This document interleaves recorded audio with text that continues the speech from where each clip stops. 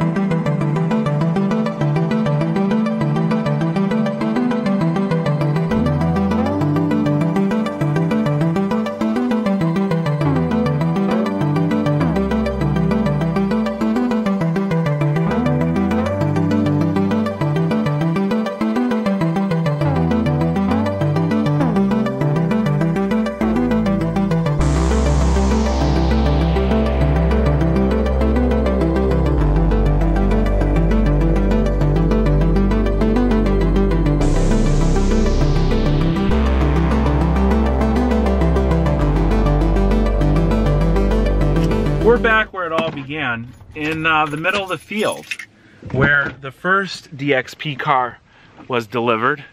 And this one, a little bit of a different story with that undercarriage damage. So let's see how easy or hard it's gonna be to uh, pull this baby off the uh, trailer here. Of course we keep on going, though everybody know it. The truth about our way we tied it loose ends up. I'm sorry. Be cool, go on and fake it. We still know we will break it. We make the same mistakes we always made, and now let's face it.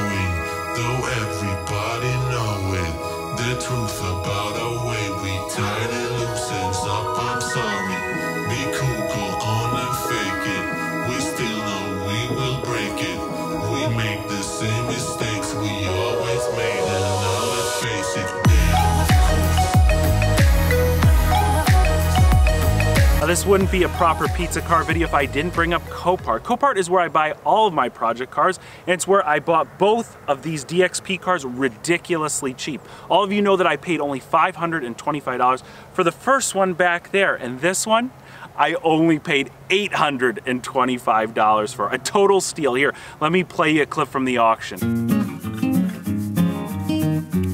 Sold. Now, Copart doesn't just have wrecked or salvage title cars, they have clean title cars, donated cars, power sports, motor boats, you name it, they have it. They have tens of thousands of vehicles in their inventory. Check them out at the link in the description box below. And if you want to see the same exact listing that I saw when I bought the second pizza car, I've put in the item number right below the link. All you got to do is search for it there. And a huge thanks to Justin, a viewer of the channel, who sent me the link to this pizza car. Without him, I would have never found it. As you guys can see, it's pretty darn incognito. If we compare our original car to the new edition, we could see that the wrap has been completely removed. We even see where a little adhesive was left over where the car used to say DXP. These are all proprietary emblems that uh, Roush installed on the car, and it's pretty difficult to get. I do still have the Domino's logo wheel center caps on the passenger side, but they've been removed from the driver's side as you're about to see.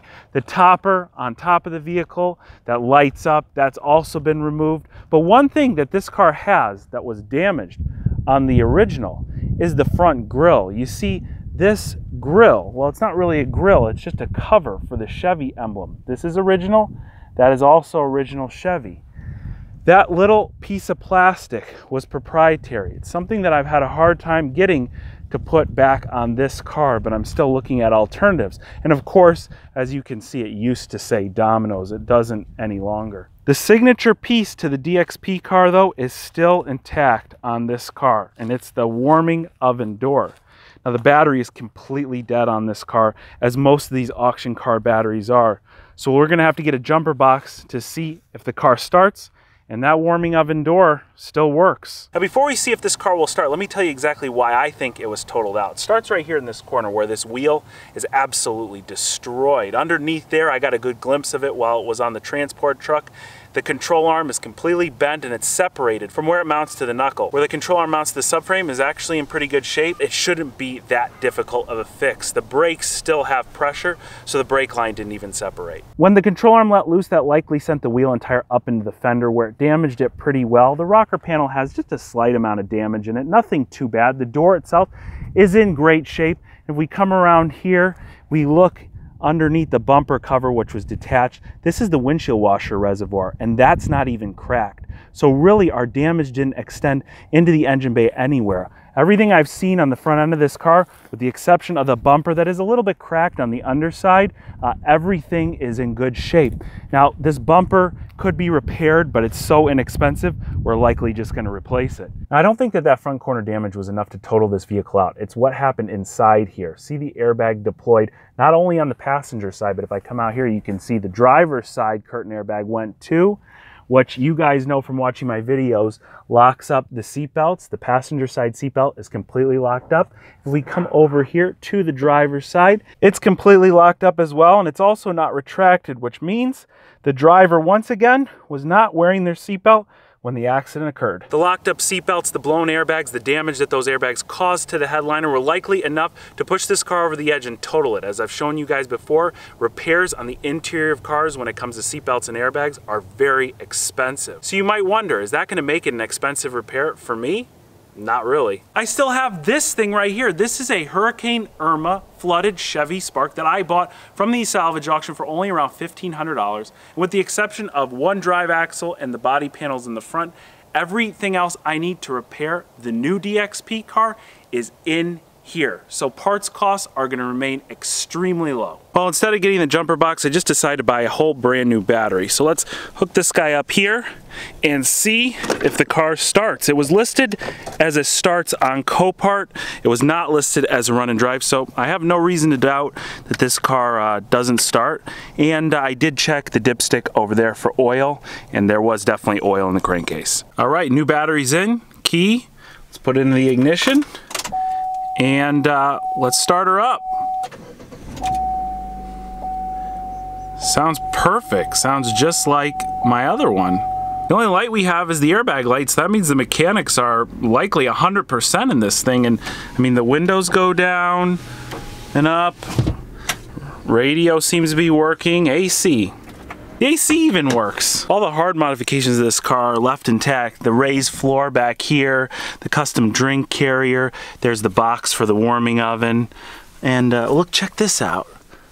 Somebody left their work visor in here. Now this is what I'm most anxious to find out. Does the warming oven door still work? You see, this warming oven door and all the other proprietary parts on the DXP car were installed and provided by Roush. You can actually order replacements to refurbish a car like this through Roush. If you're a licensed Domino's franchise owner that also has a DXP car. I am neither of those, so getting these sort of parts is near impossible.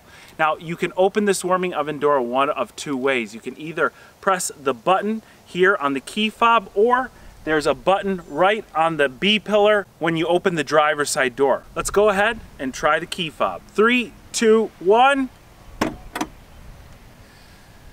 Ugh, that didn't sound good. All right, you can hear the latches moving.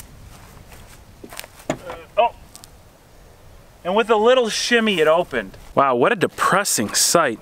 Instead of seeing a nice fresh hot pizza, we just see this curtain airbag in the way. Although the red LED light does still work, um, my guess as to why this is not opening, either there needs to be some grease on the latch here, or the shock that pops the door open is a little bit worn out, and the shock replacement is not a big deal because that's a pretty common part. Even though our new DXP car is completely naked of its Domino's theme wrap, the custom drink holder and the warming oven still make it a DXP car at heart. One that we can completely replicate off the original or something we can look at as a blank slate. We can go and do anything we want to this car. Let me know what you think we should do in the comments section below. Again, a huge thanks to Copart for partnering with me on this video for having amazing cars like the Domino's DXP cars and Justin for sending this link. And if you ever see anything interesting, be sure to send it my way. Thanks a whole lot for watching, and I will catch you very soon. They knew I was shooting another pizza car video, so instead of one getting the pizza this time, they all showed up.